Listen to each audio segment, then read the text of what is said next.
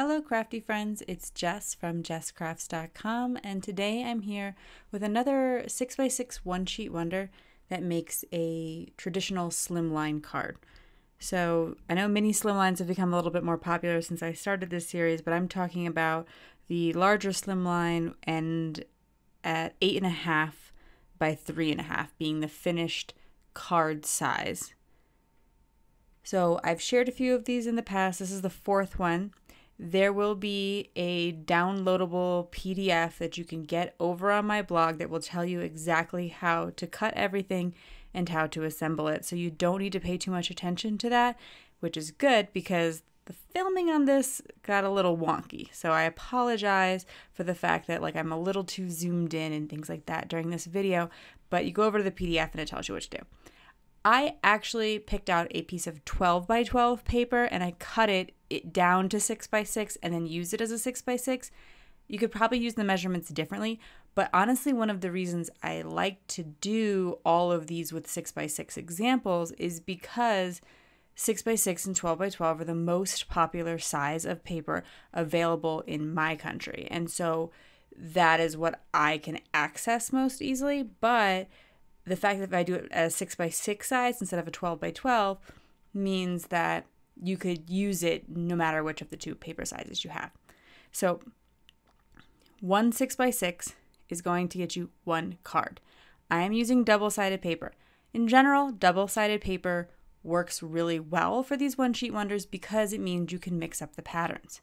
I'm going to cut a 3 by 6 section, which is what I'm laying down here, and then a 3 by 2 section that those two pieces are going to be taped together so it looks like I have one really long eight inch piece, but of course I don't because I started with a six by six piece of paper.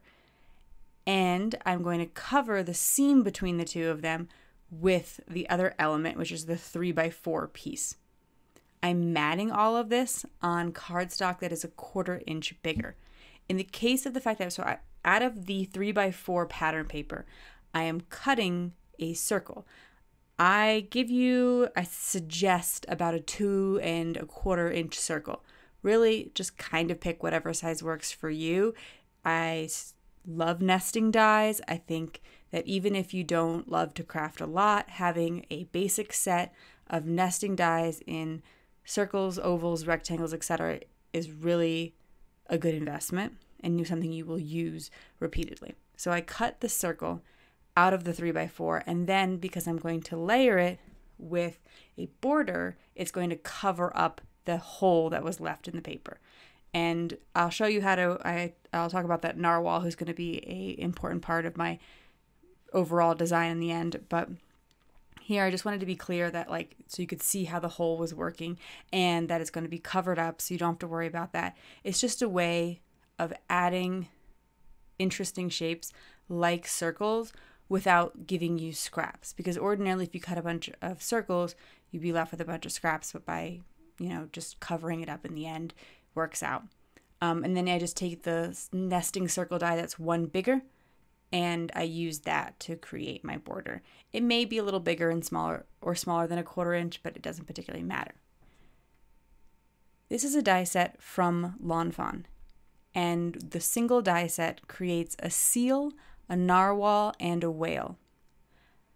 Sometimes in the past, I've avoided these because I find that you have to cut out a lot of different pieces from different colors of cardstock. But this one was really cute, and I like that you could get several animals out of it. And I do have the woodland critter dies, the little like huggers, and I have really enjoyed working with those in the past.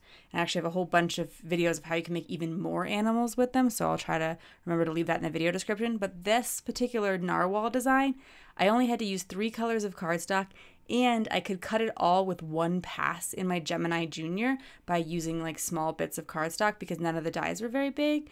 So I actually cut a whole bunch of these and I made these four cards uh, with the one sheet wonder, and then a bunch of other cards to use up some other pattern paper and scraps, etc.